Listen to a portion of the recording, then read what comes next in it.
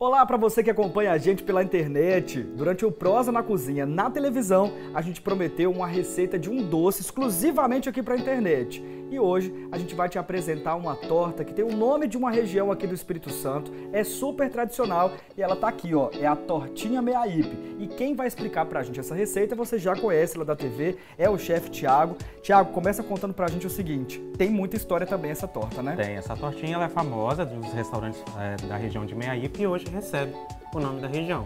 Na verdade, ela vai lembrar um pouco um pudim de coco.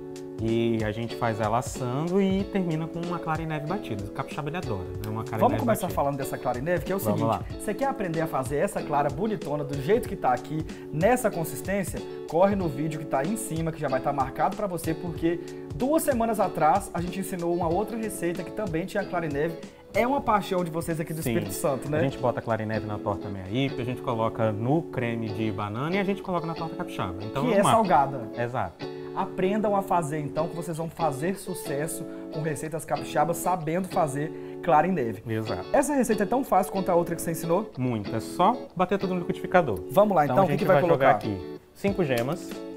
Só geminha mesmo, né? Aham. Uhum. 400 ml de leite.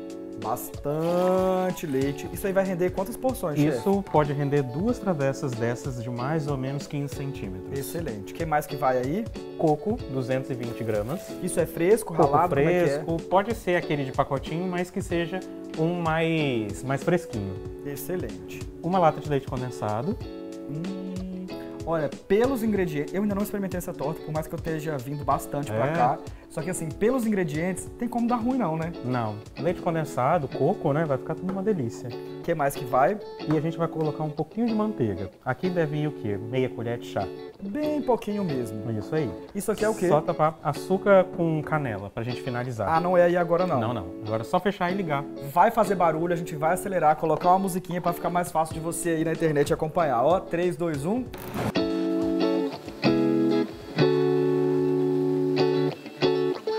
rapidinho assim. Exato. Se você quiser bater mais, você vai ter o coco mais picadinho. Quanto menos você bater, mais o coco vai estar pedaçudo. Ah, eu gosto bastante pedaçudo. Eu já vim aqui foi pegar minha colher, ó. Quase quebrei, que eu tô pronto para poder experimentar essa torta, porque a gente Isso. não vai ficar aqui esperando ela assar não. O chefe vai ó, só dar a dica mesmo. Isso. Aqui a gente vai botar ela numa forminha e levar para o forno a 180 graus por mais ou menos 30 minutos. Como vocês podem ver, essa receita dá duas dessa. Excelente. Ó, oh, eu vou quebrar os protocolos para vir correndo rapidinho do lado de cá para mostrar para vocês o seguinte, o chefe me contou um outro segredo. Ela vai começar a dourar aqui em volta, vai ser o momento que você vai perceber que ela tá ficando pronta, né? Isso aí. Ela ficou meio queimadinha nas laterais, ela vai estar tá pronta, ela vai estar tá molinha. Assim que ela esfriar, ela vai ficar durinha. Como eu já sou intrometido, já tô aqui fazendo a parte que da outra vez o chefe deixou para mim, que é colocar Isso. essa clara e neve bonitona aqui em cima. Na receita original, você pode colocar clara e neve sobre essa torta e levar para o forno. Dessa daqui pode ser desse jeito mesmo? Pode ser desse jeito. Se quiser queimar, também pode. E eu vou comer logo assim que eu tô assim aguando já.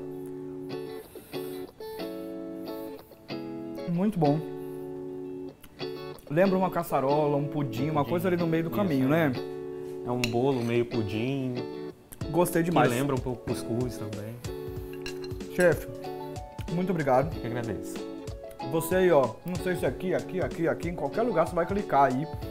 Vai chegar nas receitas salgadas que o chefe ensinou também. E na outra receita doce, só faz que é sucesso. Valeu, tchau, tchau. Tchau, tchau.